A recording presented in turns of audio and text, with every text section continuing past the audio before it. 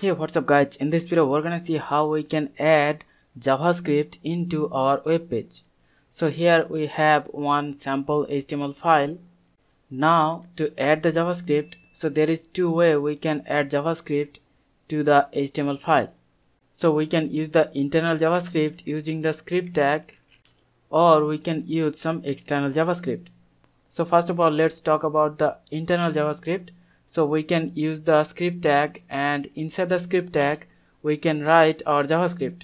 Like an example we can use document dot get element by id and here we can pass one id so first of all we're gonna add one id to the h1 tag like xyz and then we can target that element with the id xyz and then we can modify the style. Like we can modify the color so we have to write dot style dot color. And we can modify the color of the h1 to green. So if i just save and refresh the page so you can see the text color has not been changed. That's because our javascript is executed before the h1 element is loaded that's why we are not having the expected result. So to fix that we can put our script tag at the bottom of our body tag.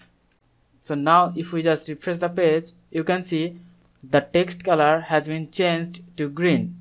So this is always a good practice to put our script tag below the body tag. This way we are making sure that all of the elements of the page will be loaded and then our javascript will be executed.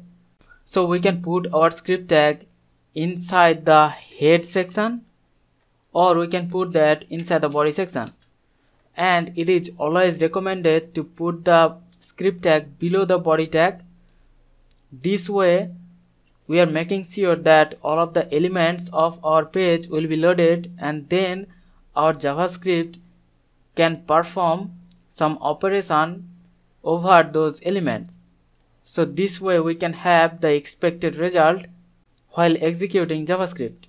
And there is another way we can add javascript to our html so we can use the external javascript.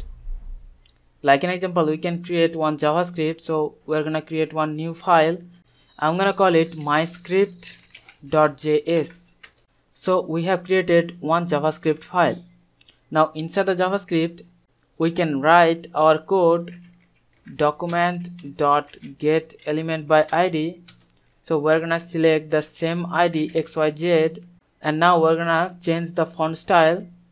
So we have to write dot style dot font family. And we're gonna set the font family to monospace. And if i just save that and now we have to link our external javascript into our html file. So we're gonna use the script tag and then we have to use the source attribute. And now here we have to specify the path to the external javascript file. So we have to write dot slash myscript.js so now we're gonna save the file and refresh the page. So you can see the font family is not changed. That's because our javascript is executed before the h1 is loaded. So to fix that we can put the script tag below the body tag. So now we're gonna save the file and refresh the page. So now you can see we have the font family of monospace. So this is the way we can add the external javascript into our html file. And there are so many advantages while using the external javascript. So the external javascript is separating our html from the javascript code. So you can see we have the javascript code separated from our html code. And this way our html and the javascript gets easier to read and maintain. So whenever we wanted to modify the javascript we can just go to the external javascript file and we can modify it in the external file and this will be reflected to all of the pages. And also one of the major advantage is that the cached javascript will speed up the page load. So this is the way we can use the script tag and we can add javascript into our html file. So hope you understand the concept. We'll see you in the next one. Thank you